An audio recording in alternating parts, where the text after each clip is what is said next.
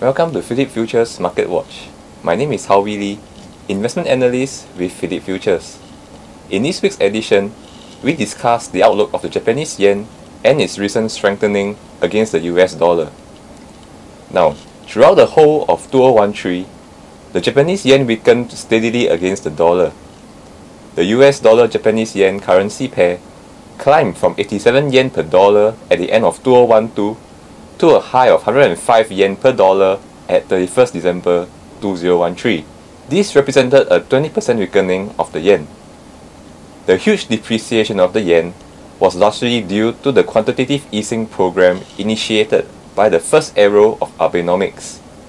Under this policy, the Bank of Japan doubled its monetary base through a massive bond buying program.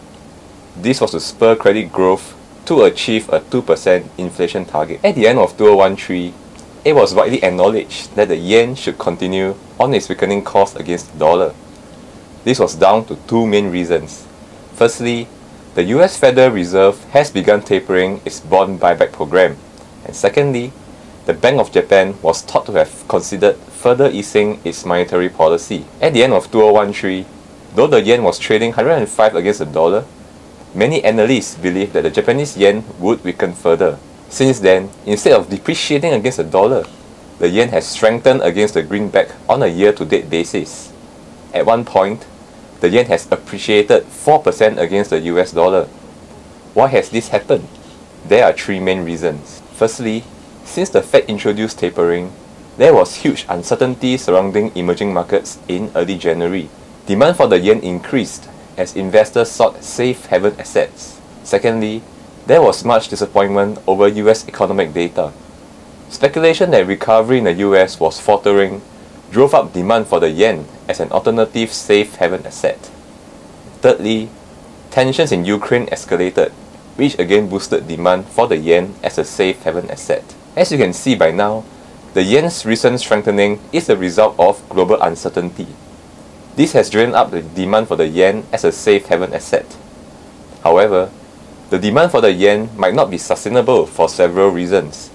Firstly, jitters surrounding emerging markets are not expected to last. Already, we can see that central banks and governments from Indonesia to India have been shoring up their reserves and have attempted to contain inflation. Secondly, the recent disappointing US data is widely considered to be a one-off due to the harsh winter snap. Ukraine remains the largest risk, but chances of a full-fledged armed battle between Russia and Ukraine is thought to be low. Based on this analysis, we believe demand for the yen as a safe haven asset will decrease in the near future. Furthermore, we also believe that the Bank of Japan may be forced into implementing further monetary easing measures this year to spur growth. Bank of Japan Governor Haruhiko Kuroda recently mentioned that he sees huge hurdles in implementing further quantitative easing programs. However, we believe the consumption tax hike due to kick in on the 1st of April this year will pose more drag to the economy than expected. This may force Kuroda's hand into loosening monetary policy further, thus weakening the yen. In the short term, we believe that the yen should continue to appreciate against the dollar as demand for safe haven assets remain high.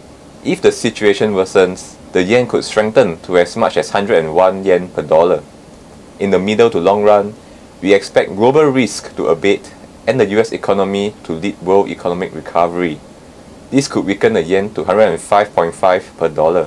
For more information on the risk and return of investing in currencies, please approach any representative from Phillip Futures for a further discussion. Want to win a pair of tickets to our POEM second quarter outlook seminar worth $50? Look out for next Monday's weekly market watch topic on Phillip Capital's Facebook page. And post a question that you would like our analyst or dealer to answer. The top three questions will win a pair of tickets to the POEM second quarter outlook seminar, which will be held on 5th of April. Please submit your question by 10 a.m. on Monday, 24th of March 2014. Thank you for watching today's Market Watch and tune in on 24th of March on the evening to see whether your questions were picked.